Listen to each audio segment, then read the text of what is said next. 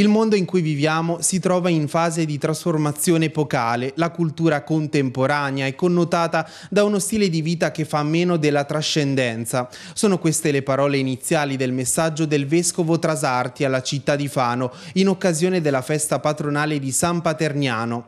Le nostre città, piccole o grandi che siano, oggi sono sempre più pervase da un diffuso senso di frustrazione, di fatalismo e di pessimismo, soprattutto nei confronti delle istituzioni pubbliche. Spetta a noi, aggiunge, il compito di contribuire anche con il nostro stile di vita fatto di coraggio e di determinazione a un'inversione di rotta nei confronti di un modo di pensare che investe la vita di gran parte della nostra gente e che quasi sempre la più vulnerabile ed indifesa e rassegnata. Poi il messaggio del vescovo della diocesi di Fano, Fossombrone, Cagli e Pergola si sposta a tutti i fedeli. Essere cristiani non significa fuggire dal mondo mondo, ma contribuire a riplasmarlo con la forza. Io sono una missione su questa terra, afferma, missione di illuminare, benedire, vivificare, sollevare, guarire, liberare. Rifare il tessuto sociale è possibile recuperando un valore etico e spesso dimenticato, quello della fraternità.